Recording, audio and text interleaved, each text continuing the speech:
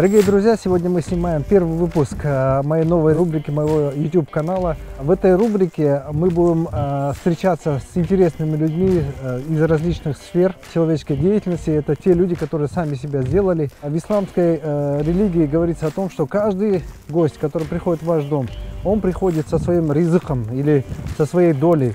И каждый человек получает вознаграждение от Аллаха за то, что он встречает и привечает гостя у себя дома.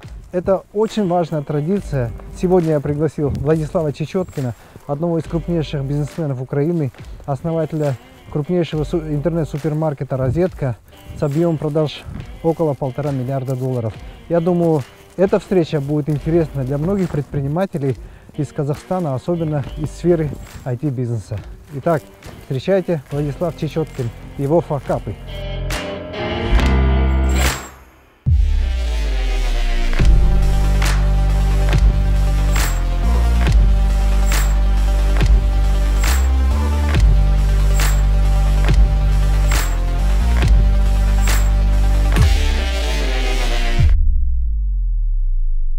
Сегодня у нас э, такой особенный состав гостей. Э, приглашал я чуть больше людей, но откликнулись почти все. Да, Двое-трое только не смогли приехать. Поэтому вам, ребята, спасибо, что сегодня приехали к нам в степь э, в гости в нашу вот такую степную студию. Тема нашей сегодняшней передачи связана с основной темой, которая, с которой я часто выступаю перед молодежью. И я говорю, что успех уникален, его повторить невозможно, а вот ошибки типичны. Поэтому я всегда призываю молодежь изучать чужие ошибки.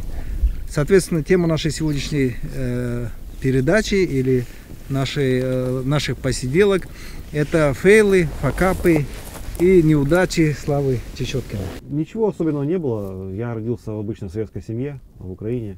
Ну, во-первых, честно говоря, было тяжело. А, нужно было только учиться, ничем больше не заниматься. Во-вторых, у меня сильно болела мама, и, в общем, родителям было не до меня, скажем так, а, а мне было не до школы. В конце школы я решил, что я сильно, сильно устал учиться, и гораздо проще пойти поработать. В конце школы, это уточни, какой класс? Последний класс, 10-11 класс. 10-11 класс, да. И после школы я э, не пошел никуда поступать, я пошел работать. Подожди, так у тебя аттестат есть? Да, я закончил, нет, нет, я закончил 11 класс, я после, после, после 11 класса не пошел в институт. А, понятно. Я пошел работать, э, но как бы кому нужен выпускник средней школы без, без ничего за спиной. Как бы, про бизнес я вообще-то особо тогда и не думал. Хотя изначально как-то так э, купи-продай у меня получалось хорошо, назовем это так. В общем, короче, единственное место, куда я устроился работать, это была э, курьерская служба. Она называется Pony Express, она до сих пор существует. По-моему, она из Украины ушла, есть в России. Ну, какая-то такая история. Ну, в Казахстане она есть. Она есть. И поработав э, полгода... В качестве я, пони? В качестве пони, да. Я понял, что лучше пойти поучиться. Потому что работать, оказывается, не так прикольно, как учиться. Я не хочу показаться сильно, как это, грамотным, но я ее хакнул, Pony Express.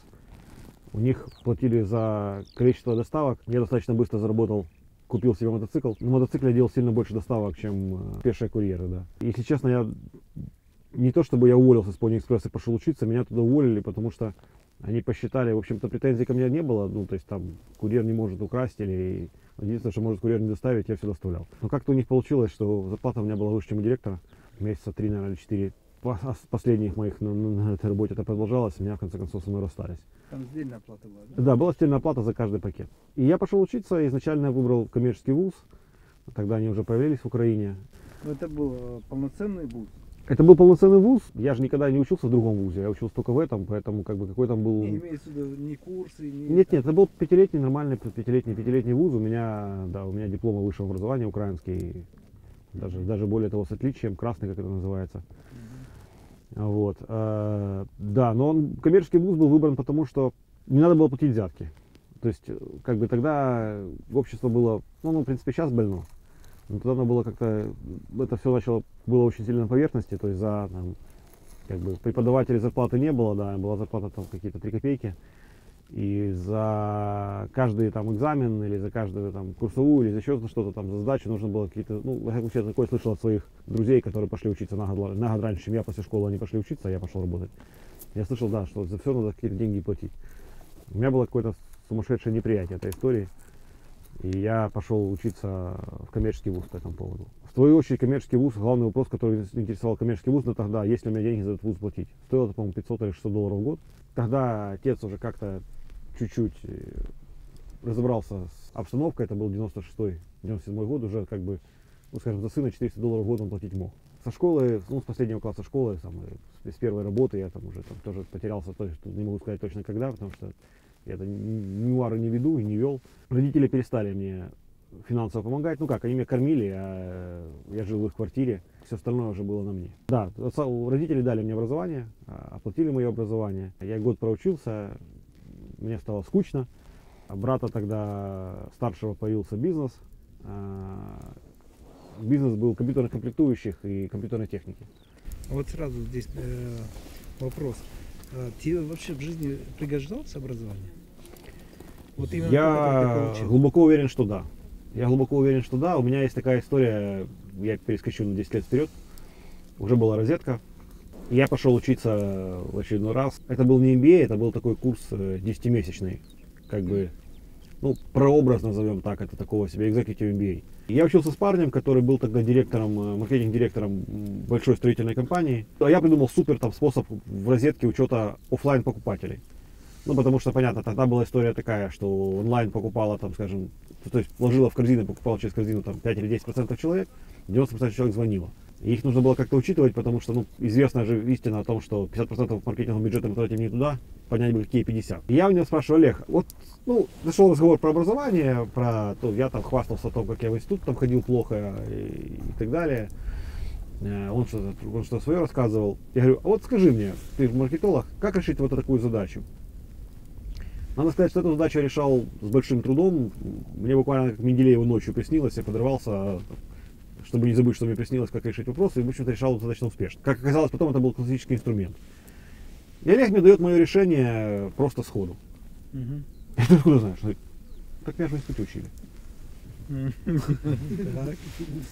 Э, и я сейчас, мы, конечно, не можем, нет там, машины времени, мы не можем э, узнать, как бы было, если бы я в этом институте не учился. Учился с утра до вечера, да, не ходил бы, не занимался бы бизнесом, и там не работал бы у брата, и не приобретал бы какую-то, ну, как бы так надо сказать, не переваривал бы этот вуз через э, реальную жизнь. Mm-hmm. Вот. Но я глубоко уверен, что если у вас есть возможность учиться, и родители готовы вас в этом деле поддерживать, то нужно хорошо выучиться и хорошо использовать этот шанс, потому что очень много ошибок и очень много э, не, не, неправильного того, что я понимаю сейчас с возрастом, например, я делал в моей карьере бизнесмена и и думаю, что если бы, был бы были бы эти знания, или кто-то, ну, то есть должен либо кто-то тебе рассказывать, да, но ты же должен ему верить. Вот, либо у тебя должны быть знания, что делать. Ну, как-то. А вот а, ты хотел быть бизнесменом или ты не планировал как бизнесмен, не бизнесмен? Я всегда, у меня отец э, из Одессы, и мои предки были одесскими торговцами большими. Угу. Потом пришла... Учитывая, что там много евреев, это много объясняет. Пришла революция, и всех раскулачили, а, но как-то вот корни какие-то такие остались. И я помню, что еще в Советском Союзе, еще в начале, там, в конце 90-х, когда уже были, ну, тогда были там и форсовщики, и то и все, но тогда, заметьте, в тюрьму за это садили. А, закупи, продай.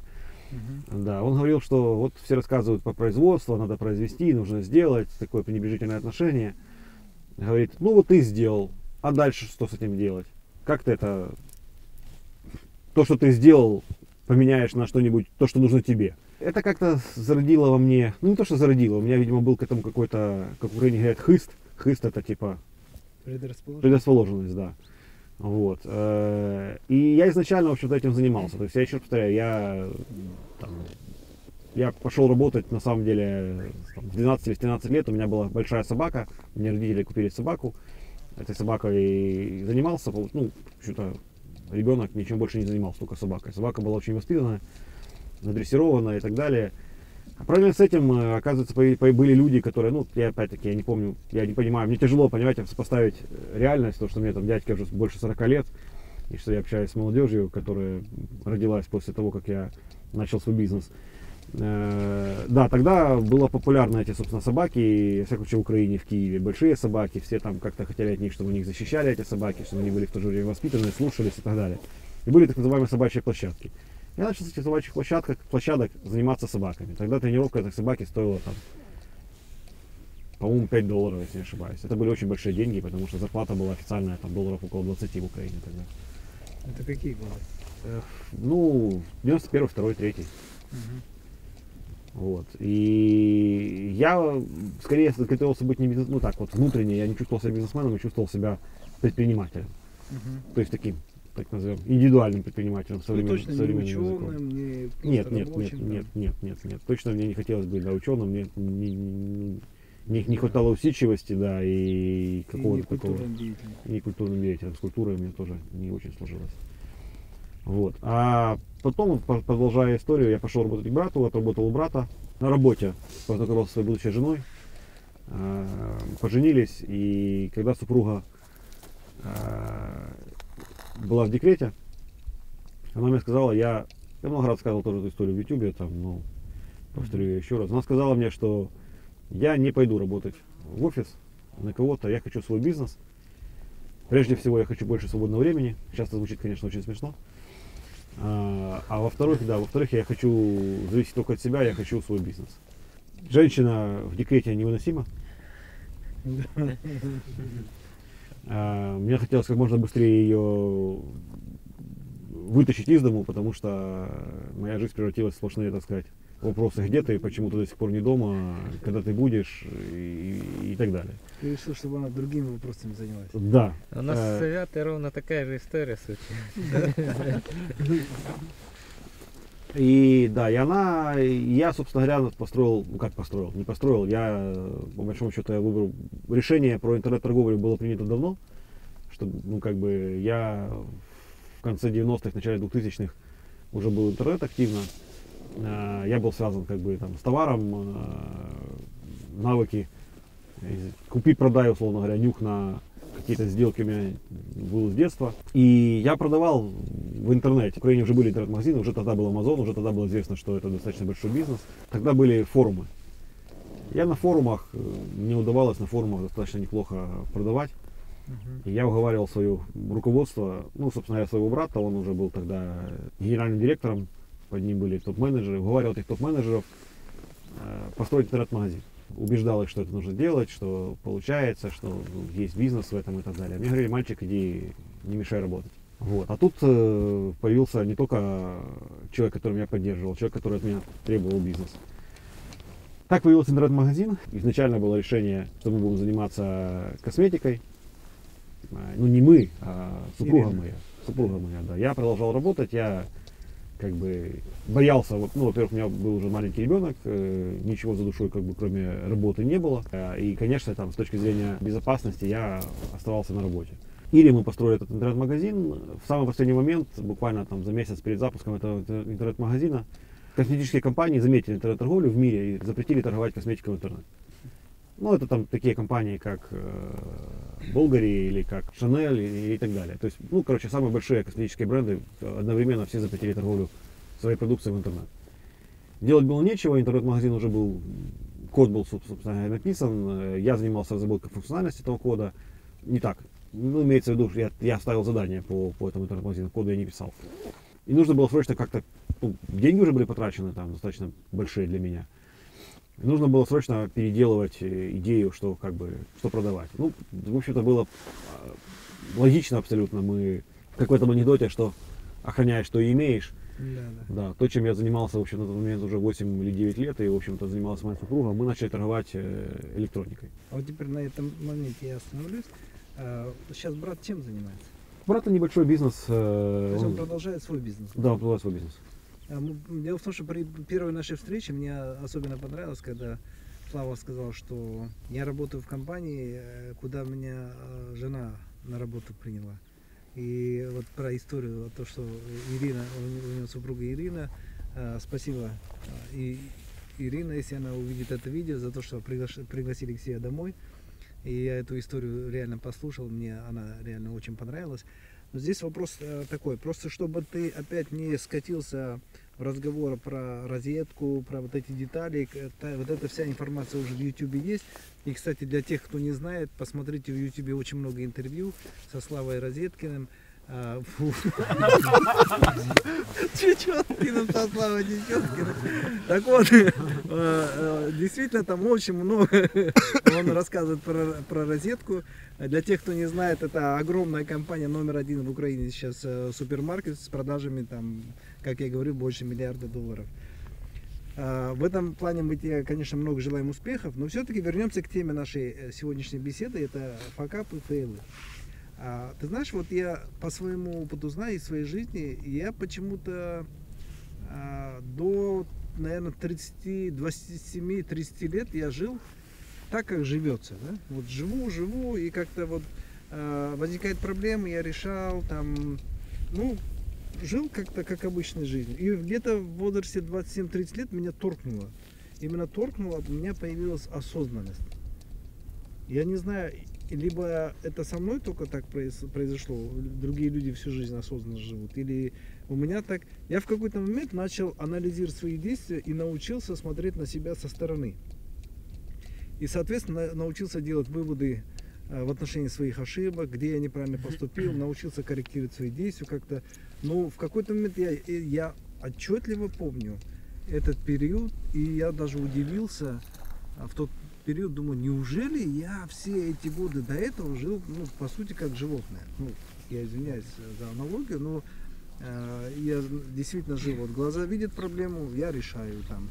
Есть проблемы с кем-то, я разговариваю, как-то решаю. Ну, это жил вот как в потоке, я не смотрел на себя со стороны. А тут вдруг появился такой взгляд, что вот как со стороны там режиссер или кто смотрит и говорит, «Э, там, братан, ты не туда идешь, ты не так делаешь. А это случилось, потому что ты вот так до этого так делал. И во мне как бы как раздвоение личности получилось такой эксперт, надзиратель, если хочешь, или там э, какой-то психолог меня внутренне получилось. И это осознанность. У тебя такое было? Если было, в какой, с какого возраста ты э, вот, чувствуешь, что начал жить как-то вот по-другому, осознанно? Ветер дует, я теперь казахов понимаю. Глаза постоянно слезятся. Видишь, у Э. меня по заводские установки хорошие, глаза узкие. Э, Ну, на самом деле, я постоянно али- анализирую как бы какие-то неудачи свои, и, честно говоря, гораздо реже анализирую удачи. И всегда нахожу, пытаюсь найти в неудачах объяснение, что я сделал не так, это не так, вот здесь Это не с так. какого возраста у тебя? Всю жизнь? Э, Я не могу ответить точно. У меня есть э, мой друг. Так получилось, что мы с ним пересекались много раз. Э, Мы с его женой будущей учились в одном классе. Мы с ним учились в одних классах, но в разное время. Я уходил, он приходил или наоборот. А Познакомились мы с ним уже в институте по моему бизнесу. По его бизнесу, по нашему бизнесу, назовем это так. Э, И он мне всегда, всегда постоянно говорит, что вот там, там что ты ноешь, там налоговая пришла, сам виноват, там, кто-то сделал не так. А что ты ноешь, у тебя там что-то украли, сам виноват, положил не на место. И как-то вот это, почему-то я, вот мне кажется, что уже это тоже это было вот, вот уже после знакомства с ним, то есть 20 с чем-то лет. Ну, примерно 20. Ну, 3-5, вот как-то так. То Есть он своими правильными вопросами как бы, э, тебя- да, на тебя да, но очень часто, на самом деле, в этом есть и плюсы, и минусы. Плюсы в том, что ты как бы анализируешь, что ты в следующий раз не сделаешь, а минусы в том плане, что ты циклишься на каких-то своих ошибках.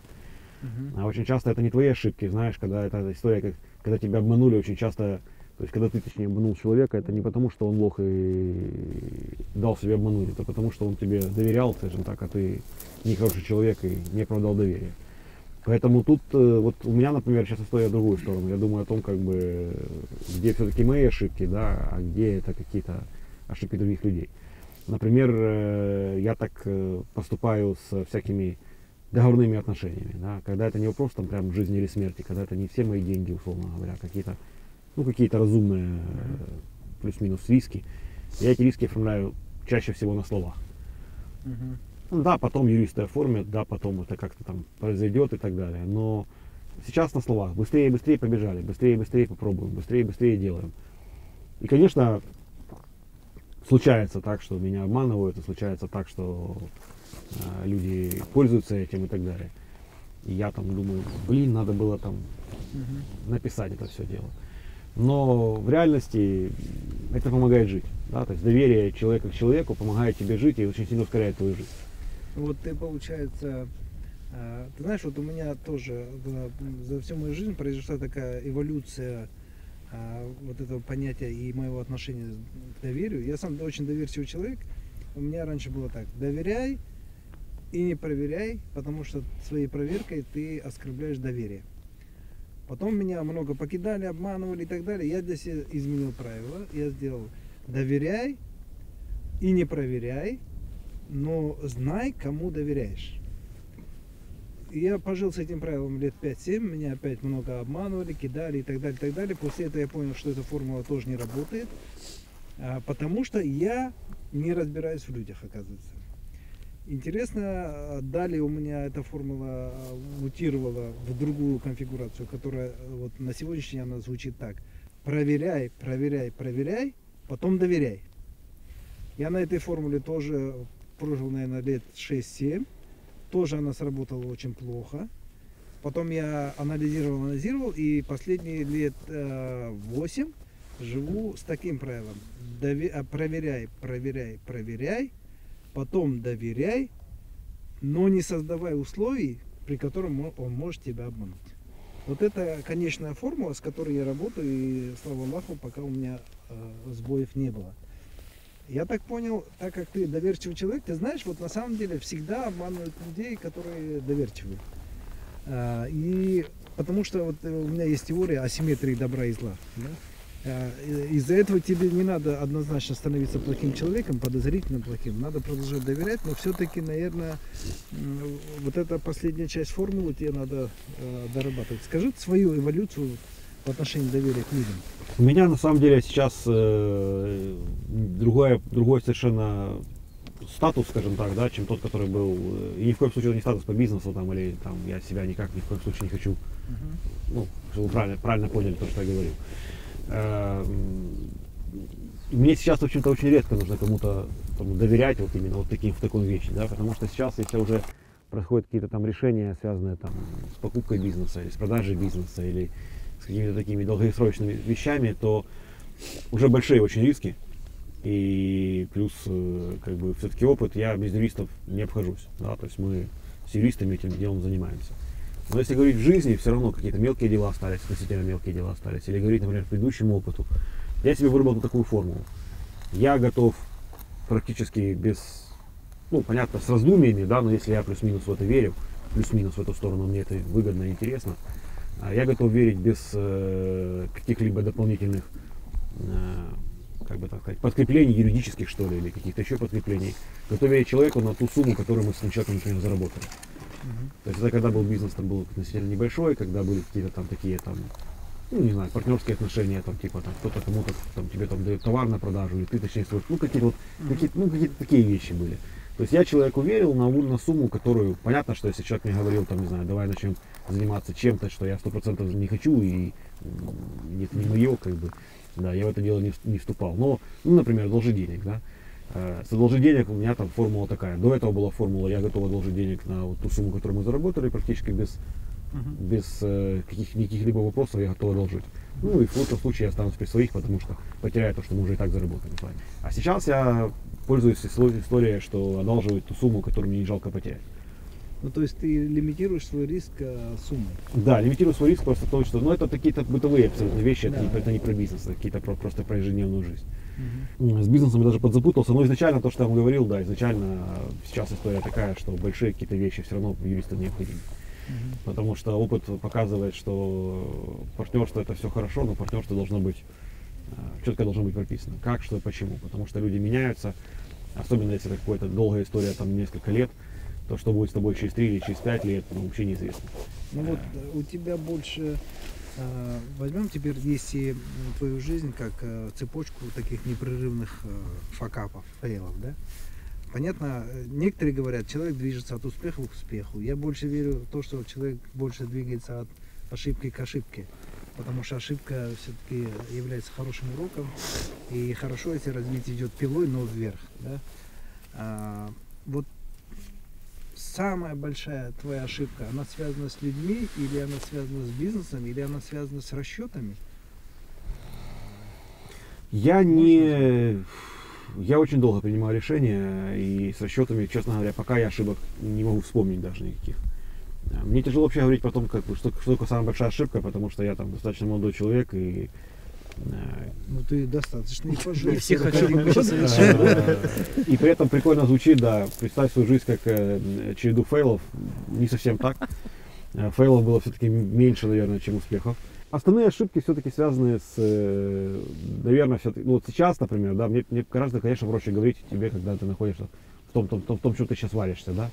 Основные ошибки у меня связаны с тем, что у меня нету, например, там, очень часто нету проверки людей, да, то есть нету, как бы есть какая-то задача, например, которую люди должны выполнить, и там, ну, мы о чем-то договорились, да, а у меня нет вот этой истории, как вы говорите, проверяй, проверяй, да, то есть, э, и это вопросы все-таки не, воп- ну, как бы, не партнерство все-таки, да, а вот просто вот просто какого-то текущего бизнеса, там, когда какой-нибудь из, э, там, ну, понятно, в моем случае из руководителей, да, не выполняет свои какие-то там э, задачи, которые на него возложили. И я сейчас борюсь с тем, что я пытаюсь, я всегда строил компанию как, э, ну, я никогда не работал в большой компании, никогда в своей жизни, и супруга моя никогда в жизни не работала в никакой большой компании, поэтому мы строим компанию там из, э, с нуля, как мы ее понимаем, как мы ее видим. И у нас там почти нету, нету бюрократии, да. Бюрократия это хорошо и плохо. Государство, например, э, умеет проверять да, исполнение поручений. Бюрократия стабилизирует процессы, да. Да, она их э, с одной стороны тормозит, поэтому ее все не любят, да, она требует там стандартизи- стандартизацию всех процессов, вот, ее тоже по этому поводу не любят. Но она и приводит к тому, что большим кораблем можно управлять. Да, да. То есть не тогда, когда ты сам капитан, когда ты сам там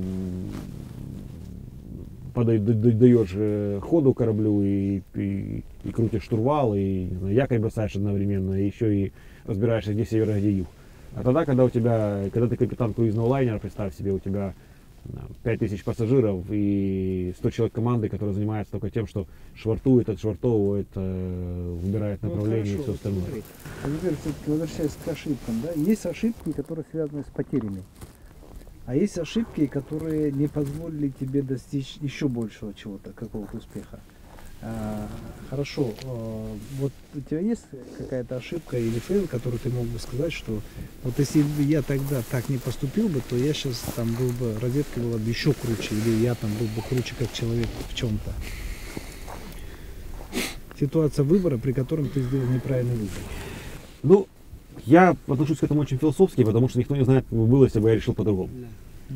Поэтому я могу только гадать. Э, И я, честно говоря, стараюсь не циклиться на этом. Я стараюсь делать какие-то такие мелкие штрихи себе, э, записывать себе в записную книжечку в голову. Что здесь неправильно, здесь можно было сделать по-другому, здесь меня кто-то где-то обманул, здесь что-то еще.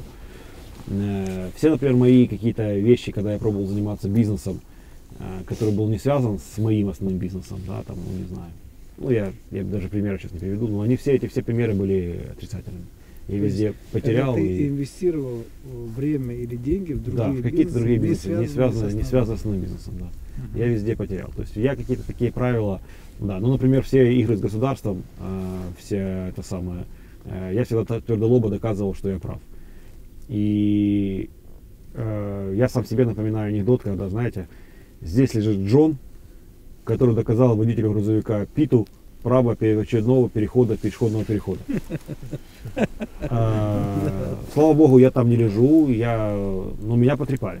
Потрепали сильно, потому что ему все равно, он пришел на работу, лампу включил, у него время пошло. А у меня это время, это нервы, это, это, это риски, это, это потери денежные, остановка бизнеса и так далее и тому подобное.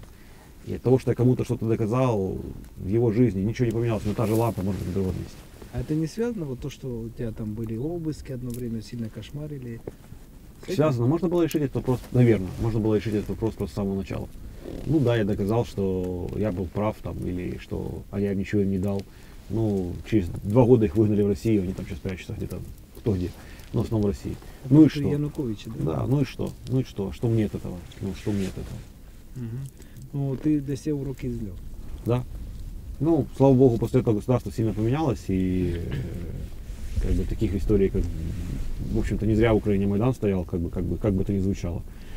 Для, имеется в виду для казахов, например, да, потому что в Украине это однозначно, мы однозначно понимаем, что мы не зря стояли, государство сильно, мы государство сильно поменяли. Да, я надеюсь, что больше никогда такого не повторится. А, Просто вопрос, а, я бы так сказал, ключевым фактором успеха явилось больше то, что вы делали в то направление, угадали направление, в котором произошел потом. Марглан, я не могу ответить никому на этот вопрос. Меня очень часто по этому поводу спрашивают. Там, я всегда шучу. а, Знаете как? Я подсмотрел это у одного очень известного Украине человека. Он говорит, когда меня спрашивают там друзья или какие-то благословные ко мне расположенные люди и спрашивают меня, почему там у тебя получилось. Я начинаю сказать, потому что я сделал вот это, вот это, вот это, вот это, как у меня болело, как у меня там, как я над этим работал, а, почему я сделал такой выбор и так далее. А если меня спрашивают так, просто чтобы спросить, или спрашивают люди, которые расположены ко мне не очень хорошо, я говорю, просто повезло. Ну, на самом деле, в этом доля правды, большая доля правды есть. Э, Везение играет большую роль в нашей жизни, конечно же. То есть, конечно же, могло быть по- по- по- по-разному, знаете. То есть, и, например, то, что мы семья, и мы занимаемся бизнесом, мы партнеры, и все семья и партнеры, это очень большой плюс и для старта, да, это огромное доверие, без- без- безграничное, скажем так. Ты не проверяешь, что у тебя нет этой истории доверяй, но проверяй, или проверяй, проверяй, проверяй, нет. Да? Ты сразу в партнерстве, ты уже выбрал этого человека, ты уже с этим человеком, ты уже в партнерстве, и ты об этом вообще не думаешь. Но, знаете, жизнь же такая штука. Я видел бизнесы, которые переставали существовать, когда перестала существовать семья. И э, был ли такой риск? Ну, как бы, допустим, моя, моя жена, ну, конечно, был такой риск. Ну, как бы, и мы счастливы вместе, у нас ну, трое детей, и мы развиваем свою семью и так далее. Но риск такой, конечно, присутствовал. Вот. М, Видите, этот риск не реализовался, реализовался лучший сценарий. Э, Вторая история. Я был полностью уверен, что мы обеспечим свою семью, как бы, да, ну то есть обеспечим, ну как, я не был полностью уверен, потому что я же говорил, вам рассказывал, что я уволился с работы только когда уже бизнесу было 3-4 месяца, Да. и когда было понятно, что супруга сама не справляется, ей нужна помощь, она э, такой у нее была история, что я все сделаю сама, не надо мне брать на помощников, я все сделаю сама, да. Я уволился, пошел к ней работать, ей помогать, и, э, ну, потому что было понятно, что она все сама не сделает с растущим бизнесом, Да. ничего не произойдет. Но я был полностью уверен, что я там прокормлю свою семью и, и- и могу это сделать. И я, вот мы несколько раз возвращались к этому, как-то про- про- прошли мимо, да. То есть, если бы супруга мне не сказала, э, что ты сидишь на, на попе ровно, давай беги и делай мне бизнес, там, и не пнула меня бы, да, то я бы дальше сидел бы и работал бы. Я был бы там высокоплачиваемым менеджером. Ну, там, ну, я бы точно не, не, не, не, не- не ну, как, нельзя говорить точно, конечно же. О роли женщины в истории. Да, я бы не голодал, я бы, я бы был обеспечен, я бы э, был бы там высокий средний класс, вот, но я бы не был бизнесменом, скорее всего, потому что она меня потре- потребовала, чтобы я нырнул в это дело. А я не нырял, потому что я боялся, я боялся, а, там, что делать бухгалтерия, что делать с этими там армиями людей. Ну, армии, про армии, конечно, речи не было, но что делать с этим бэк-офисом, да, как, как решать такие вопросы, как решать вопросы государства, как решать то, как решать все. Как-то вот мне потом, мне кажется, уже была розетка. Э, Есть такой сэр Ричард Брэнсон, который владелец э, Virgin э, и чего-то еще там, я уже не помню, у него этих бизнесов миллион. Да, он написал книжку такую автобиографическую, которая называлась «К черту все, бери, берись и делай». Вот мне, например, эта книжка очень сильно зашла.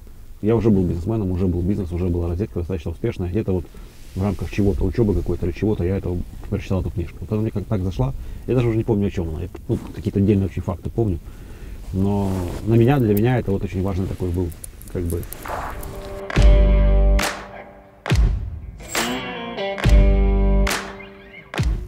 такой вопрос. А вот э, э, были ли у вас такие моменты, когда вот вы ну, чисто для себя решили там, проверить, да, вот вы там на полгода или там на два месяца или на год, может быть, просто отходили от бизнеса, да, там, и бизнес он э, дальше развивался, то есть были у вас... э, Ну, сознательно не, не, не, не отходил от бизнеса. Это как бы достаточно больно проверять. Вы считаете себя Э, свободным человеком, да, то есть когда вы можете сейчас, например, уехать, вот, например, да, там, и Я- что там... В разные моменты бизнеса происходят разные вещи. То есть понятно, что чем взрослее бизнес, а, тем потенциально у тебя больше времени, как бы там, у SEO, скажем так, этого бизнеса, да, потенциально больше времени на какую-то жизнь вне бизнеса, назовем так. Да. Но э, с другой стороны, все равно же бизнес там же как, как же, так же, как и там, не знаю, так же, как и любой человек, он переживает разные моменты времени. Да? То есть какой бы он ни был там взрослым, умным и так далее, он может приболеть, он может там, история может поменяться по сторонам, и может быть что-то еще. Поэтому в разные моменты есть разная э, вовлеченность, разное количество времени, которое необходимо проводить, э, трогая бизнес руками. Э, Но вторая еще вторая часть э, в том, что все-таки я, ну, у меня единственный бизнес, да, и я все время все равно в голове все равно я там, все время. То есть у меня нет истории, когда я там думаю, я о нем не думаю. Я на охоте, я думаю про бизнес. Я э, в отпуске я думаю про бизнес. Делаю или думаю, принимаю решение или там, забиваю гвозди, но я все равно постоянно в бизнесе. Эти вопросы больше по работе или жизни? Но они очень сильно разные, они очень сильно, как каждый конкретный момент времени, они очень разные. То есть у тебя есть какие-то проблемы, э, ну, как это можно сказать, я жизнь и работу не разделяю, вот, поэтому, в общем-то, книжек прикладных, таких прям совсем прикладных, да, как там, не знаю, какой-нибудь про, про, про скрам, какой-нибудь менеджмент, да, это, наверное, прикладная книжка. Таких книжек я читаю немного. Ну, ты Вот. чи- читаешь книжки какого плана? Э, Философские, мотивационные, там, технические, э, автобиографические. Я в основном читаю книжки, ну, в смысле, почти все книжки, которые читаю, так или иначе связаны с бизнесом. А вот. а, и мне даже тяжело сказать, честно говоря, как я принимаю решение, какую книжку следующую я буду читать. А, есть какие-то отдельные темы знаний, которые мне интересны, там, типа менеджмента. Ну, есть какие-то отдельные темы знаний, которые мне интересны, ну, в виде такие автобиографические, хотя на самом деле там очень много чего подчеркнуть, там, например, про Джобса, или про Маска, или про Бизнеса, или про того же Брэнсона. Какие-то такие вещи, которые, ну, вот они выходят, это просто, ну, я считаю, это какой-то must да, если ты в этом бизнесе находишься, если ты э, так или иначе с ними пересекаешься, ну, я там пересекаюсь и с Apple, я пересекаюсь, понятно, и с Мгм. Amazon, я пересекаюсь и с и с Alibaba, например, да, то есть эм, все эти вещи тебе ну, как бы стоит знать. Там очень много всего, по моему мнению, очень много всего полезного. А если не полезного, то просто познавательного, интересного, потому что эм, очень интересно посмотреть на, не знаю, на то, что происходило, например, с Безосом, еще повторяю, там прямо, ну, не знаю, я очень много на себя беру, конечно, мы далеко не Amazon. А, Где-то вот. через себя можно все это пропускать. Да, мы далеко не Amazon, но мы очень много вещей, которые там прочитали в этой книжке, прямо вот это наш, наш паттерн. Он же тоже начинал с женой. Э, Он э, был с ней в партнерстве, она была самым Ну, главным партнером. Да, он начал с книжек, да. Ну, э, но она была его, она была его основным партнером там долгое время. И, и там абсолютно доверие, и все эти вещи, они все там проходят. Как он начинал новые категории, как он, как он с этими новыми категориями бизнеса а, боролся со своими, собственно говоря, существующими, например, тоже менеджментом, а, какие были внутренние его конфликты самого Амазона. Все это прям, ну, ну про нас, про нас, про нас. Ну, а где-то что-то там тоже с тем же, с той же Alibaba там что-то где-то как-то пересекается, да, пересекается то, что Alibaba, что он начинал, Джек Ма начинал бизнес в коммунистическом Китае, который на самом деле сильно был похож на, ну, мое детство коммунистическое и посткоммунистическая Украина. То есть такие какие-то вещи. Интересно. А вот еще такой вопрос по поводу географической экспансии. Это, Вот, мой, это был э, мой вопрос, который я хотел сейчас задать. Да? Вы хорошо окопались в Украине, да, и вот в смысле Да, вот тогда задай. по поводу экспансии, да, вы сейчас получили очень хороший опыт. Думайте об этом, ну, получили Вначале, вначале, вначале слабые стороны, а потом сильные стороны. А слабые стороны в том, что все поставщики стараются не допустить роста монстра. То есть они стараются не растить мульти- мультинациональные бизнесы. А, Никому не нужно, там, Samsung не нужен бизнес, который будет торговать Samsung в 20 странах, потому что мы будем диктовать Samsung, что он делать. Не они нам, а мы им. И это слабая сторона, потому что это реальные товары, это не сервисы и так далее. Сильная сторона, конечно, мы знаем, что делать, э, и мы смотрим по сторонам, но пока успехов вне Украины нет. А поглощение? Ну, то есть, видите рынок, он вам интересный, видите компанию. А, А, если честно, если честно, это проблема связанная с оценкой украинских активов. То есть для того, чтобы сделать это поглощение, нужно либо было заработать много денег, либо каким-то образом привлечь много денег. Ну, привлечь, да. А, да, ну привлечь можно под что? Под э, идеи под мое имя или под э, более реально, да, под какую-то долю в розетке. То есть то, что делают большие игроки, да, они там продали 5% акций и там кого-нибудь купили. 100% кого-нибудь, или 2% акций, купили кого-нибудь 100%, да. У нас такая штука не работает, потому что оценка украинских активов, она на низком уровне. А, мультипликаторы низкие, то есть если я продам 5% розетки, скажем, то я, скорее всего, куплю 5% там, казахского бизнеса. Ну или там 10%. Вот, то есть большой какой-то разницы ну, вот, вот, нет, нет этого мультипликатора. Поэтому э, приходится искать какой-то креативный подход, который пока не найден. А что с государством? Продолжается вот ну, какие-то негативные вещи? А насколько вообще государство в истории вашего развития оно мешало, так скажем, пробирало хлеб или где-то наоборот помогало? В Ну, государство там ничего не помогало. Э, Украина была несколько историй, несколько путей, с каждый, каждый путь с, новым президентом. Да. А, Розетка стала трех президентов, ну четвертого, уже, четырех, четырех президентов уже. Про четвертого говорить рано, потому что он только начал. Первый президент был Ющенко. Он был абсолютно демократом, назовем это так. А, И мы в его время родились, и большая заслуга Ющенко на самом деле в том, что в том, что Украина такая, как она есть сейчас. И, и в том, что есть розетка, никто нам не мешал, никто нас не трогал, были какие-то мелкие какие-то там наезды, какие-то там, ну, такие щипачи, знаете, то, что называется. Мы их очень быстро пере- переросли, и э, первых э, 7 лет нашей жизни мы, в общем-то, с э, органами не встречались. Затем в 2010 году пришел Янукович. Янукович был откровенным вором. А, Но если в странах, в которых не было до этого такого либерального, очень либерального режима, да, он бы, наверное, как-то прижился бы и, и как-то бы, наверное, как-то как казалось бы, что так и так и есть, знаете, как история про а, лягушку, которую подогревает потихонечку, она не знает, что и варит. А Вот. То в Украине это случилось э, по-другому. После, э, хорошем смысле слова, вседозволенности появился монстр, который начал э, отжимать, воровать и так далее и тому подобное. И мы столкнулись э, с э, попыткой рейдерского захвата. Из хорошего для нас мы все-таки в значительной степени IT-бизнес. И у нас нет фабрик, заводов, пароходов. И когда они дожали меня до ситуации, когда уже дальше было, ну, я дальше уже не, не, не- ну, не мог ничего с этим дальше сделать, я говорю, ну, забирайте. И был такой диалог, типа, а что забирать? Я говорю, все забирайте. Так мы ничего не видим. Я говорю, так все, что видите, и забирайте. Не, нет, так мы ничего, мы ничего не видим. Я говорю, ну, поищите. На самом деле на этом практически после этого все закончилось, потому что они поняли, что ну, рабов уже нет, заставить меня силой работать на себя не получится, а забирать нечего. Вячеслав, извините, а у вас юрисдикция в Украине? Или... Э, Тогда была Украина, да. Сейчас мы построены через э, классическую схему с иностранными инвесторами. Украинский бизнес слабо, украинское юридическое поле слабо защищает инвесторов, поэтому мы построены через иностранную юрисдикцию. Но это не принципиально, то есть бьют же не по паспорту, а по морде. Никакая юрисдикция большой, большой, большой роли не играет. Но на самом деле после нас, после этого, в общем-то, у нас практически все закончилось. Еще через полгода после этого, через год после этого их снесли.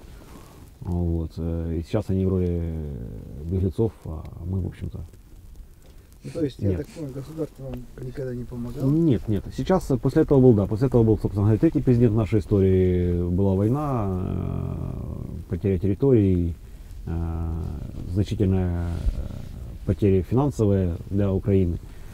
Но государство было не до нас. То есть мы работаем по правилам, которые прописаны в Украине. А Эти правила сильно поменялись в лучшую сторону. То есть там где-то наверху может, ну, не может, там все пишут, что кто-то вору- что ворует. Ну, я в этом не участвую, поэтому я не могу ни подтвердить, ни опровергнуть. Вот. А внизу мы живем по украинским э, законам и по писанным и неписанным украинским правилам. Государство, государство мы, мы никак не, не пересекаемся. Оно не мешает и, ну, и не помогает. Сейчас новый президент, новое веяние, нас пытаются резко Украину пытается загнать какие-то новые правила, а, очень такие, как они говорят, европейские, на самом деле очень сильно полицейско-юридические, да, то есть они будут пытаются проверить, э, с каким мясом плов мы едим. Вот. И как будет, ну, пока непонятно, то есть или хорошо будет, или, или нехорошо Это будет. сейчас происходит, да? Да. Моя позиция такая, что да, мне от государства ничего не надо, а лишь бы меня не трогали. То есть, ну, как не можешь помочь государству? Только, только, только прозрачными правилами и, и защитить, защитить, чтобы нас там не воровали на улице, условно говоря. Вот у вас по налогам а, есть какие-то льготы а, для e-commerce? Нет, Вообще никаких. никаких нет. Более того, сейчас e-commerce объявлен главным врагом государства. Государство считает e-commerce главным э, укрывателем налогов. То есть не воровство государства, государственные деньги, не неэффективное управление государством, а вот e-commerce сейчас является для, для вдруг государство решило с нами бороться. Вот еще такой подход. Э, Многие бизнесмены, IT-бизнесмены, они строят компании для того, чтобы потом продать и заработать. А для тебя розетка это дело э, всей жизни или это бизнес-проект, который ты можешь Ну, продать, выйти, заработать? В тот момент времени, когда я решил пустить к себе инвесторов, э, как бы этот момент уже был таким переломным, да, то есть розетка это в любом случае не мой ребенок. То есть ребенка я не продам никогда, ни, ни, при каких условиях. А розетку я могу продать. Не хочу. Во всяком случае, пока, да. То есть мне это интересно. Бизнес растет, бизнес дровит. э, Очень много всего еще можно сделать. и Горизонты хорошие и так далее и тому подобное. Поэтому продавать не хочу. Но если будет супер предложение, условно говоря, или какие-то другие условия, э, то могу и продать. Но ты продавать не хочешь, потому что ты видишь еще потенциал. Да, но мне это интересно, это моя жизнь. Вот. А изначально, конечно, никто не строил бизнес на продажу, то есть я, мы изначально строили маленький бизнес, мы изначально строили такой себе интернет-ларечек. Вот. И э, наше отношение к бизнесу и наш бизнес развивался, собственно говоря, вместе с нами. Я не знаю, хорошо это или плохо, все рассказывают там про там, две ноги или там еще про дополнительные точки опоры и так далее и тому подобное. У меня такого нет, я даже себе не представляю, как это сделать, потому что очень много усилий тратится на, движение бизнеса вперед. Я в какой-то степени оправдываюсь, может быть, но бизнес быстро развивается. Все-таки нужно много усилий для того, чтобы он развивался. То есть он в стабильном состоянии, он в состоянии роста. И поэтому нужны усилия да, для того, чтобы постоянно ежедневное усилие для того, чтобы он двигался вперед. Поэтому ну, я себя, ну, повторяю, повторяю еще раз, я сам себе это объясняю таким образом, что нет времени, там, да, нет идей там никаких, потому что вот это движется вперед хорошо. Видите потенциал, горизонт еще. Да, да. Но опять-таки мы же не знаем, это может быть это просто какой-то способ самого себя успокоить, там нету что, таланта. На самом деле это ты поступаешь абсолютно правильно. А, Я э, по этому поводу даже как-то э, мастер-класс проводил по поводу, что нельзя путать сидение бизнесмена, который любит свой бизнес, и инвестора. Инвестор, он не, не должен любить бизнес. Он должен зарабатывать на тех людях, которые любят свой бизнес. И подтверждение этому, вот э, ты сегодня в начале беседы сказал, что все твои неудачные проекты, это были проекты боковые, не связанные с основным твоим бизнесом, не связанные с розеткой. А после того, как ты нашел правильную модель, правильный бизнес, дальше правило очень простое, усиляй сильное. Что, чем ты и занимаешься, в принципе. И тебе это интересно, и это наиболее выгодный э, способ, на самом деле, инвестирования и развития. Поэтому я думаю, ты абсолютно правильно в этом, правильно, в этом. Я отношусь ко всему как бы как к временному явлению, то есть успех там или неуспех это все временное явление. То есть мне очень как бы, много раз сам себе задавал вопрос. Ну, мне задавали вопрос, я сам себе внутренне задавал вопрос. А вот ты там успешный человек. Что такое успешный человек? Ну, в какой момент времени? Сейчас успешный, завтра не успешный. В чем-то успешный, в чем-то не успешный. Поэтому ам, да, то есть как бы вот эти все вещи, правильно ли я делаю, на самом деле будет понятно через какой-то там когда черту надо будет подводить. А за какие направления отвечаете? да, ну, я и учитывая, что я мажоритарий и Ну, генеральный директор, то я отвечаю за все. Какие функции вы несете? У нас есть э, такое неформальное разделение с самого начала. Я отвечаю за стратегию и за маркетинг. Э, супруга отвечает за исполнение, э, за операцион. Она до сих пор, да? Да, она в бизнесе вместе, мы партнерство в бизнесе, она больше времени проводит, за счет- за счет- потому что операционка на ней, она больше времени проводит. А как в отношениях у вас? Вот э, ей выход на охоту реально сложно. Вот, а, у меня тоже Ей сложно, когда я выезжаю на су- Супруга у меня SEO, ну как бы она занимается операционкой, а я вот э, тоже. Стратегия. интересно, как это у других получается. Почти везде так. Э, Почти везде, почти везде женщины занимаются больше операционкой, почти везде. Они более, ну, более усидчивые, более усидчивые, более, более, более Скрупулезный. скрупулезные. Да, я пытаюсь просто, знаете, как это в Украине не замечаешь, когда используешь украинские слова, когда не в Украине, то замечаешь, я пытаюсь подобрать э, не украинское слово, да. Э, Поэтому, да, поэтому они более усидчивые, более скрупулезные, и вот все пары семейные, которые я знаю, везде женщины отвечают за операционку, а мужчины отвечают больше за какие-то такие. А может это Проекты. просто мужчины хитро так устроили? Я вот когда это говорил, только что я об этом подумал, да. я- Может быть, это э, мужчины специально так а- а, создают бывает, что она вам говорит, там, я, наверное, хочу чем-нибудь там другим заняться, там, давай кого-нибудь на мое место. Были такие моменты? Но, э, Ну, вначале, вначале, когда строился бизнес, было очень много конфликтных ситуаций. Она у меня э, женщина бескомпромиссная. Э, И очень много было моментов, когда там она там да, что-то мне говорила, типа, или так, или я там уйду, или так, или то, там, и, и как-то и вот, и вот или, или так, или никак, вот какие-то такие вещи. Но бизнес развивался, и отношения развивались, и все-таки брак э, через 18 лет отличается от брака через там, полгода или там, от, от молодого брака, скажем так.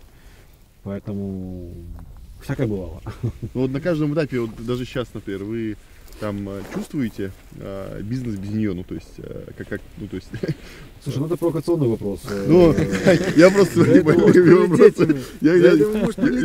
понимаю, что я бью в такое место, потому что, Нет, нет, это провокационный вопрос, но опять-таки я придерживаюсь мнения, что нет незаменимых людей.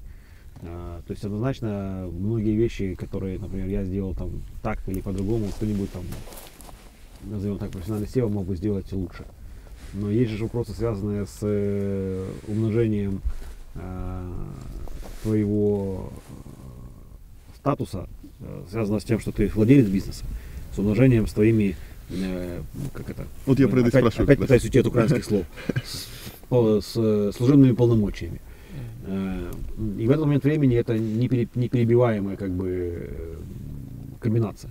То есть она может принимать решения, которые э, там, сейчас ведут к каким-то потерям, но долгосрочно мы выиграем, например. Да.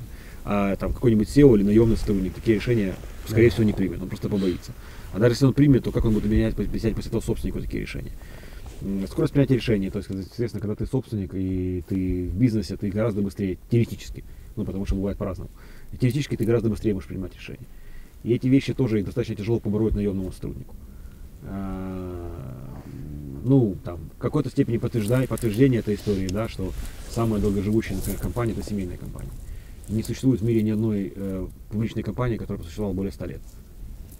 То есть General Electric э, была, в принципе, чуть ли не самой старой публичной компанией, и фактически она сейчас на, на- на- на стадии банкротства.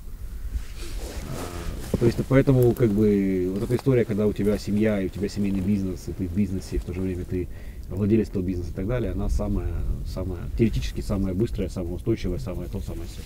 Но она же ограничивает и твои какие-то другие вещи, да, Да. потому что Ве- Вечером на- ты за ужином разговариваешь о работе. ну, слушай, ну о чем бы ты разговаривал, если бы не было работы? Да. Ну, в общем, тут люди. Мы часто ходим в понимают. театр. А, Я делю людей на два типа. Это ставильщики проблем и решальщики проблем. Есть люди, которые постоянно ставят проблемы, а есть люди, которые постоянно решают проблемы. Но в то же время это абсолютно не умаляет э, такого, такого инструмента, что э, системного, при, при котором, при котором первый руководитель должен в первую очередь э, слышать проблему. У тебя есть какой-то механизм, при котором все знают, что если у нас возникает проблема, то в первую очередь нужно докладывать тебе. Ну, я не могу сейчас этот механизм описать. А, Мы просто пытаемся эти проблемы не замалчивать. То есть мы пытаемся и копаться в проблемах. Из хорошего, относительно хорошего. А, Относительно хорошего, потому что это плохо влияет на твое настроение. А, Относительно из хорошего э, то, что онлайн-бизнес имеет обратную связь, в отличие от оффлайн-бизнеса. То есть ты можешь постоянно получить обратную связь от твоих клиентов. Если даже кто-то тебе там эту проблему не говорит, условно говоря, там не, ну, не замалчивает или там или еще как-то, если тебе это интересно, ты все проблемы эти видишь. Ну ты читаешь? Есть отзывы, да, я читаю. Есть отзывы, есть там, я открыт, открыт на Фейсбуке, мне постоянно туда пишут, э, я там призываю туда писать, условно говоря. А, и я реагирую на все эти вещи. А, есть, э, ну, там есть разные типы жалоб, понятно. Есть какие-то жалобы, которые там, э, там не знаю, связаны с э, особенностями работы розетки, условно говоря. Да, и такие, такие типы жалоб я, ну, я не знаю, что с ними делать. То есть я их накапливаю, и в будущем я либо поменяю, особенно, поменяю способ работы розетки, либо ну, как бы люди поменяются. Потому что, например, изначально, ну, как это просто как пример, да, изначально люди требовали от нас суперсервис. То есть, что такое суперсервис? Они требовали, чтобы мы привезли, например, на выбор несколько товаров. Они хотели, чтобы э, менеджер по доставке, так они водителя называли, менеджер по доставке курьера, да, менеджер по доставке объяснил разницу между этими товарами и помог им выбрать. Но мы не обеспечиваем такой сервис, потому что мы интернет-магазин, мы, в общем-то, по природе свои дискаунтеры, то есть мы должны продать дешево, и максимально дешево, максимально быстро. Да, и с каким-то приемлемым уровнем качества, ну, с заданным уровнем качества. Так наш заданный уровень качества не подразумевает консультации от водителя. Вот. А, Но люди это требуют. Или есть какие-то другие вещи, там, например, нас постоянно критикуют, что у нас приезжают а, разные товары, разными, разные, за- заказ приезжает разными, ра- несколькими частями. То есть есть вещи, которые мы не можем объединить, например, от разных поставщиков, то есть мы, или от разных продавцов, то есть мы все-таки маркет, ну, мы не все-таки мы marketplace, и там, мы не можем объединить, например, третьи стороны с розеткой. А, Нас критикуют, и ну, это там основная боль от наших покупателей. А, Что я могу с этим сделать? Я могу поменять свои как бы бизнес-процессы. Я их пытаюсь менять, но в то же время например, тот же Amazon эту проблему не решил. А, ну вот, э, то есть это накапливается в копилочку. Мы пытаемся найти решение раз там регулярно, вот сколько-то времени. Ну пока такое решение не нашли. А есть какие-то вещи, когда, там, например, сбой по доставке происходит, да, там мы не привозим там, не знаю, ну как бы, я не знаю, сколько это там, это звучит смешно, но тем не менее это же особенности э, украинских, э, как правильно сказать, реалий, да. Как доставляет Amazon? Amazon доставляет тебе под дверь ложит и уходит. Как доставляет э, в Украине? В Украине надо доставить клиенту, отдать товар в руки, он должен еще проверить, что товар целый, тот товар, который ему надо, там, он не разбитый и так далее и тому подобное. И вот люди жалуются, например. Приехал ваш курьер, а я была в душе, а он мне позвонил, а я не взяла трубку, потому что я была в душе. Я же в трубку, трубку в душу не беру. И вот он уехал, вот где мой теперь товар? И когда такое количество жалоб приходит какой-то там допустимые пороги, например, вводятся какие-то новые там, процедуры, ну, условно говоря. СМС водитель подъезжает. Не знаю, да. Все равно это не означает, что девушка не будет в душе. То есть э, она может быть в душе 40 минут, там, а не 15. А, Вот. Но уже каких-то проблем меньше. Потом у нас, э, там, особенно Киев, э, развивается достаточно неплохо. У нас появилось большое количество домов с э, консьержами. Ну, то есть новостроек с консьержами, какие-то там закрытые территории. Там уже мы можем с консьержами договариваться, консьержами оставлять этот товар. Да, не под дверью в квартиру, но у консьержа. Ну, мы такие процедуры, например, сейчас вводим.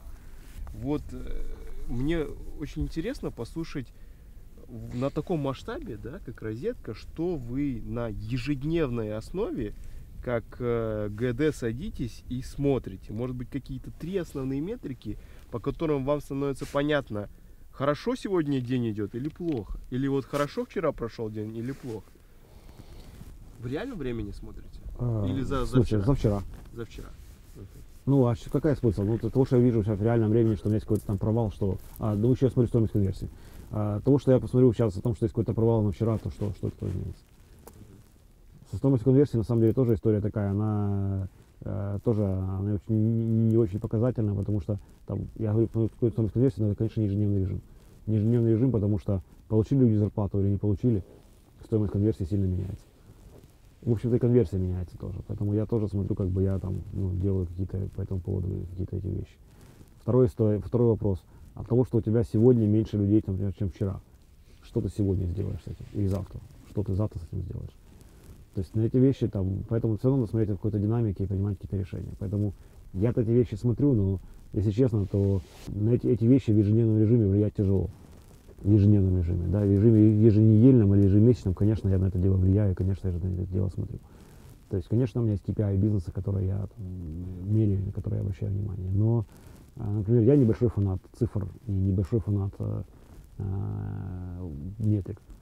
Потому что, ну, в какой-то степени подтверждение этому, да, есть большое количество бизнесов, которые, ничего не так, есть несколько бизнесов в Украине было, которые были супер фанатами, все считали, прям все считали вот так до миллиметров. И их нет, они обанкротились, они перестали существовать. Ну, наверное, не все, не все считали. Я считаю, не так все точно. Да, понятно, что растущий бизнес, э, видимо, там не такая большая конкуренция позволяет эти вещи делать. То есть, чем жестче бизнес, тем лучше тебе надо считать, чем точнее нужно считать. А, Вот. Но ну, пока я бы позволяю, пока мне уда- удается все это делать таким образом.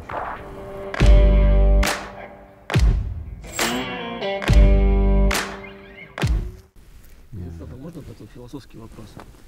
В тот момент, когда вы строили с супругой этот бизнес, вы мечтали именно о такой своей жизни или что-то другое? Есть ли какая-то такая большая мечта, которую вы в жизни хотели бы сделать? А, Оставить след о себе? Ну, Я не стремлюсь точно, у меня нет такой задачи в случае сейчас оставить, там, знаешь, как говорят, вмятину в истории, там, или, или какие-то такие вещи, там, след в истории. Таких больших идей у меня, таких больших идей у меня нет, я, я, в всяком случае, пока до этого не дошел. А, деньги дают свободу, и за счет того, что я могу оказаться сейчас э, уважаемым мной Маргуланом э, в степи в очень хороших условиях, а, С таким плавечником. э, да, который э, Сам подстрелил. э, который получается не бесплатно, назовем так. Э, Это однозначно положительный результат моего бизнеса и положительный результат моих усилий э, предыдущих. Э, И, конечно, это меня, так сказать, подогревает э, делать усилия дальше для того, чтобы э, эти вещи в моей жизни не заканчивались. А, Ну и да, я счастлив. э, И мое мнение, что, в общем, только счастливый человек может делать э, успешный бизнес. И как бы в любом случае надо находить какие-то э, всегда нужно находить какие-то способы, как это сказать, искать себе, искать себе счастье, искать себе какой-то положительный момент в жизни. И, там, ну, опять, это мои особенности, да, там, вот, Маргулан меня спрашивал про факапы, там, и так далее. Ну, я не помню, ну, ну, реально не помню, знаешь, что какие-то, они наверняка оставили рубцы какие-то и оставили какие-то выводы в моей голове, ну, сказать, что я там на кого-то сильно обиделся, условно говоря, и там я э, ношу в себе какую-то такую вот штуку, я там себе обязательно там где-то когда-то я, я эти вещи не делаю. Ну, конечно, если будет повод. Из всех факапов ты а, оставляешь урок и забываешь сам факап. Да, я стараюсь, Это конечно. Я недавно прочитал одну фразу в Фейсбуке. Я, говорит, не злопамятный человек. Просто хочу отметить, сегодня 10 лет, как одна сволочь в комментах оставила про меня, как будто там говорит, ты оставляешь только уроки, а сами фак- факапы Ну, Забывать. негативы все нужно забывать в любом случае. То есть нельзя оставлять. Ну, слушай, это так же, как если поломал руку, и ты всю жизнь помнишь, как у тебя болела рука, когда я поломал. Ну, ты же, она же по-прежнему у тебя поломана. То есть, при том, что она у тебя уже работает. А вот еще такой момент. Я часто говорю, что э, прибыль в бизнесе делается в момент покупки, а не в момент продажи. Тем более, я уверен, в твоем бизнесе ты там маржу, маркап э, слишком наращивать не можешь, и у тебя и конкуренты, и так далее. И вот, соответственно, я так подозреваю, что один из секретов то, то, э, прибыльности бизнеса это то, как вы закупаете товар. Есть э, в этом плане у вас какой-то buying power, где инструмент давления на поставщиков? Как вы продавливаете хорошую цену? Ну, э, история меняется. э, и когда ты был маленьким, э, и все остальные были просто ленивыми, большими, ленивыми и так далее, по сравнению с тобой, ты просто мог купить дороже, чем они покупают. Но за счет того, что ты был активнее и И больше продавал? Да, и активнее, скажем так. Ты, ты больше зарабатывал, ты зарабатывал, да, они там проедали это дело на маркетинг или на секретарш, извините. Э, Сейчас история поменялась, сейчас у нас уже есть, с одной стороны, у нас есть buying power, потому что какой-то, э, ну, есть какой-то, не какой-то, большой объем. А, Есть э, способы оценки, что мы покупаем, что мы не покупаем. Раньше все-таки мы это дело делали на, на пальцах. Но есть и минусы, да, есть и минусы скорости принятия решений, есть и минусы, связанные с э, новыми продуктами. То есть вот все знают, да, что большие розничные сети это большая проблема для поставщиков. Потому что, ну, зачем, как бы, почему мы не должны пробовать новые продукты? Они, ну, у них и так все получается. Зачем новый продукт? А новый продукт это новая возможность, это новые клиенты и так далее и тому подобное. То есть мы такие вещи, тоже от таких вещей уже страдаем, и мы пытаемся с этими вещами бороться. А, вторая история, все-таки есть вопрос эффективности. То есть, э, кроме того, сколько ты зарабатываешь, есть вопрос еще как эффективность, сколько ты на это дело тратишь. То есть в интернет-бизнесе, в случае, в моем бизнесе, да, две основные затраты. Это логистика и маркетинг. И сколько стоит логистика на единицу товара, и сколько стоит маркетинг на каждую продажу, это важные вещи, которые могут тебя оставить без штанов, скажем так, или могут сделать тебя богатым человеком. Поэтому только цена покупки это ничто. Только, только цена покупки это ничто. И третий вопрос, который, четвертый уже вопрос, который очень важный, да, это вопрос, а можешь ли ты таком, э, так эффективно это делать на объеме? Потому что, например, с той же рекламой мы можем покупать очень эффективно очень мало рекламы. Ну или, или мало, или недостаточно рекламы. Можем покупать очень эффективно, очень эффективно. Мы можем покупать какие-то отдельные товары очень дешево, но их будет мало. Ну, то есть там э, какой-нибудь там скупать, не знаю, ну, я буду сейчас образно говорить, утрировать, я не знаю, э, товар уже заявившегося поставщика, да. Ну, ты можешь купить очень дешево, там, 25 коробок чего-то. Больше у него нету, ты никогда больше этих 25 коробок не купишь. Да, ты заработаешь какие-то экстра деньги. Там, в 2008 году я так очень много заработал.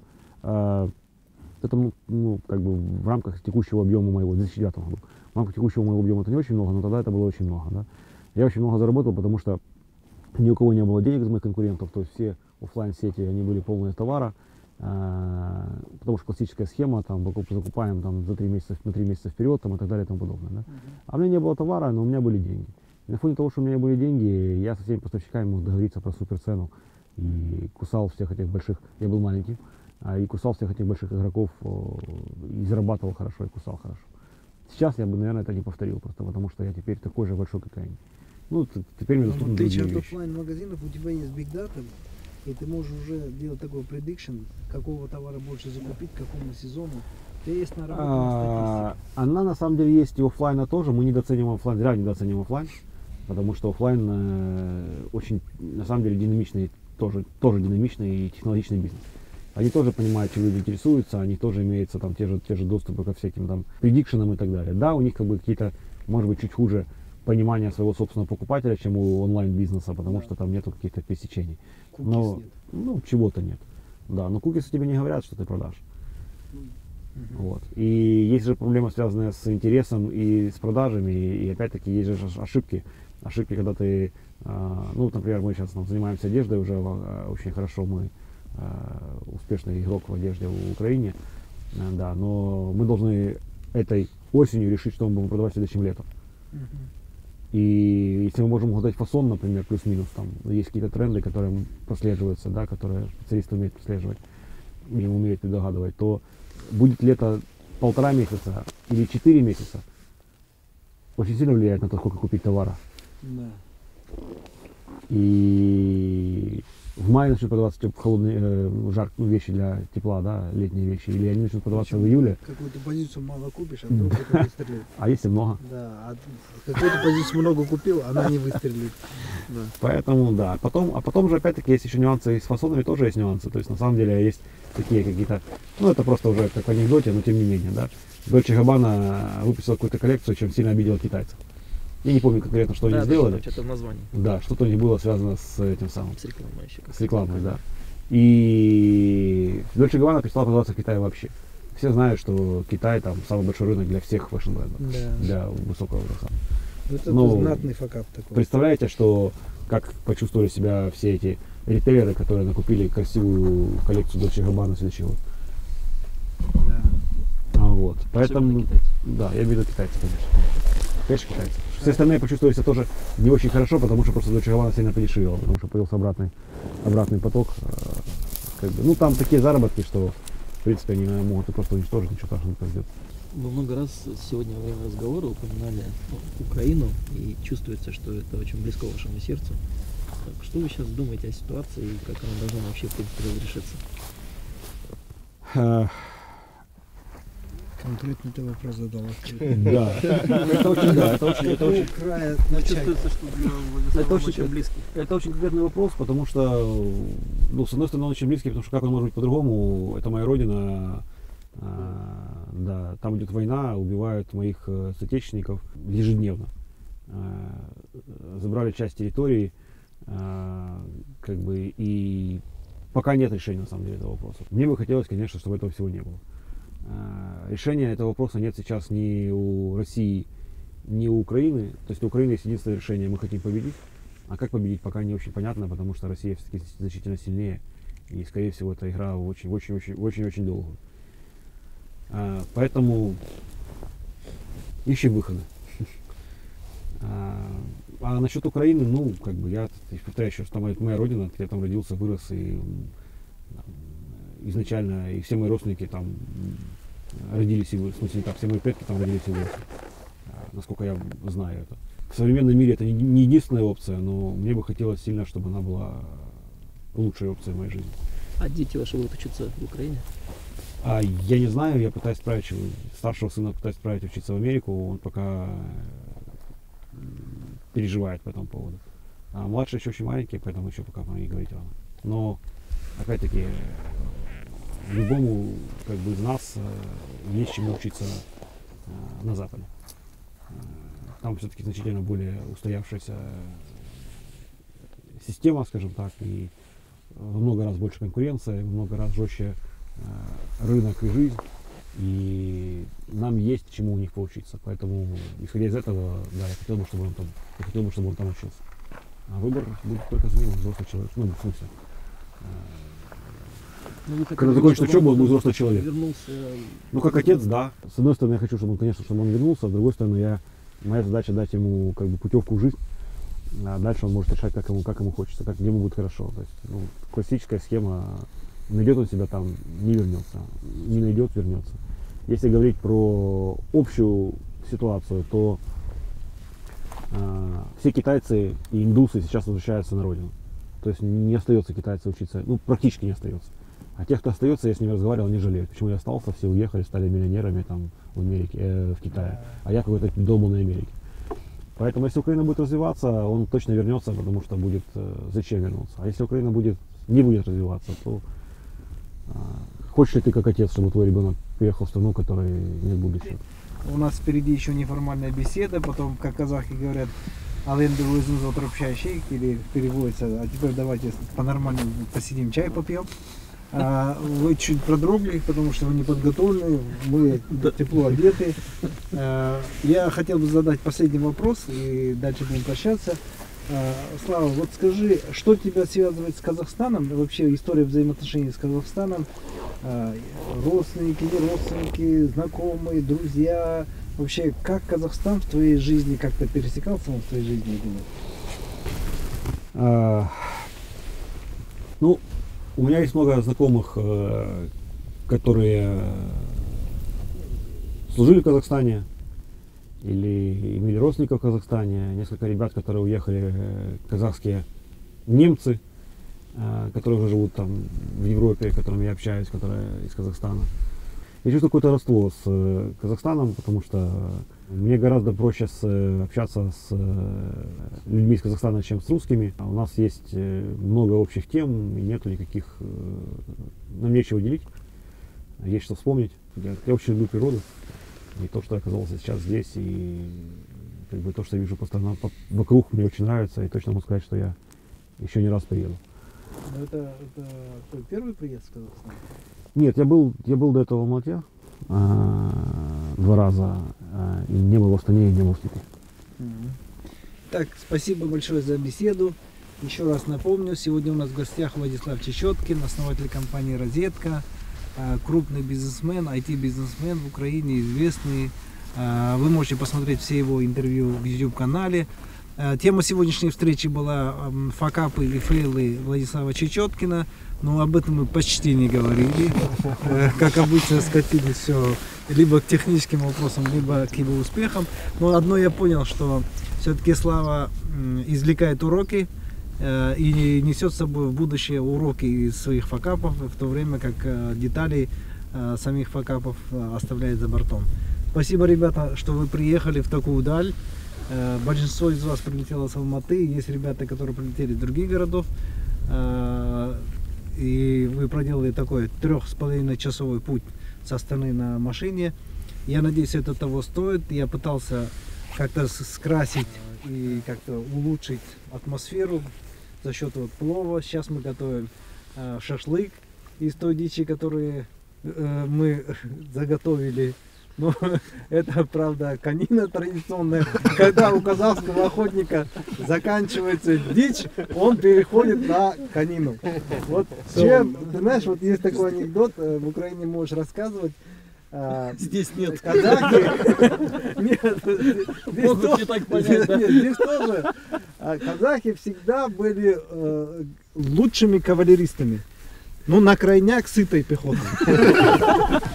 И вот на этой веселой теме сейчас перейдем к шашлыку и неформальной, э, неофициальной беседе, не на камеру. А, Еще раз прощаюсь с вами, следите за моим каналом, а, жмите на колокольчик, лайкайте, комментируйте. До новых встреч. Спасибо большое. Спасибо за приглашение.